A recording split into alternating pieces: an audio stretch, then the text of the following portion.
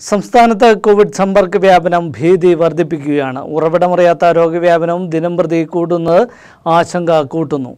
ഇടുക്കി ജില്ലയിലും രോഗവ്യാപനം വർദ്ധിക്കുകയാണ്. വിശദമായ കോവിഡ് റിപ്പോർട്ടിലേക്ക്. സംസ്ഥാനത്ത് ഇന്ന് എണ്ണായിരത്തി എഴുന്നൂറ്റി അറുപത്തിനാല് പേർക്ക് കോവിഡ് പത്തൊമ്പത് സ്ഥിരീകരിച്ചു. മലപ്പുറം ആയിരത്തി ഒരുന്നൂറ്റി മുപ്പത്തൊമ്പത് എറണാകുളം ആയിരത്തി ഒരുന്നൂറ്റി ഇരുപത്തിരണ്ട് കോഴിക്കോട് ആയിരത്തി ഒരുന്നൂറ്റി പതിമൂന്ന് തൃശൂർ ആയിരത്തി പത്ത് കൊല്ലം തൊള്ളായിരത്തി ഏഴ് തിരുവനന്തപുരം എഴുന്നൂറ്റി എഴുപത്തേഴ് പാലക്കാട് അറുന്നൂറ്റി ആറ് ആലപ്പുഴ നാനൂറ്റി എൺപത്തിയെട്ട് കോട്ടയം നാനൂറ്റി എഴുപത്തി കണ്ണൂർ മുന്നൂറ്റി എഴുപത് കാസർഗോഡ് മുന്നൂറ്റി ഇരുപത്തിമൂന്ന് പത്തനംതിട്ട ഇരുന്നൂറ്റി നാൽപ്പത്തിനാല് വയനാട് നൂറ്റിപ്പത്ത് ഇടുക്കി എഴുപത്തൊമ്പത് എന്നിങ്ങനെയാണ് ജില്ലകൾ തിരിച്ചുള്ള കോവിഡ് ബാധിതരുടെ കണക്ക്. ഇരുപത്തിയൊന്ന് മരണങ്ങളാണ് കോവിഡ് മൂലമെന്ന് ഇന്ന് സ്ഥിരീകരിച്ചിട്ടുള്ളത്. ഇന്ന് രോഗം സ്ഥിരീകരിച്ചവരിൽ മുപ്പത്തിയാറ് പേർ വിദേശ രാജ്യങ്ങളിൽ നിന്നും എൺപത്തിയഞ്ച് പേർ മറ്റ് സംസ്ഥാനങ്ങളിൽ നിന്നും വന്നവരാണ്. എണ്ണായിരത്തി മുപ്പത്തി ഒൻപത് പേർക്ക് സമ്പർക്കത്തിലൂടെയാണ് രോഗബാധ സ്ഥിരീകരിച്ചത്. അഞ്ഞൂറ്റി ഇരുപത്തെട്ട് പേരുടെ സമ്പർക്ക ഉറവിടം വ്യക്തമല്ല.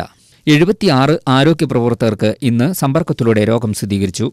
രോഗം സ്ഥിരീകരിച്ച് ചികിത്സയിലായിരുന്ന ഏഴായിരത്തി എഴുന്നൂറ്റി ഇരുപത്തിമൂന്ന് പേരുടെ പരിശോധനാ ഫലം ഇന്ന് നെഗറ്റീവായി. കോവിഡ് വ്യാപനത്തിന്റെ പശ്ചാത്തലത്തിൽ പതിനൊന്ന് പുതിയ പ്രദേശങ്ങളെ ഹോട്ട്സ്പോട്ട് പട്ടികയിൽ ഉൾപ്പെടുത്തി. അതേസമയം പതിനഞ്ച് പ്രദേശങ്ങളെ ഹോട്ട്സ്പോട്ടിൽ നിന്നും ഒഴിവാക്കിയിട്ടുണ്ട്. ഇതോടെ സംസ്ഥാനത്താകെ അറുന്നൂറ്റി അറുപത് ഹോട്ട്സ്പോട്ടുകളാണ് ഉള്ളത്.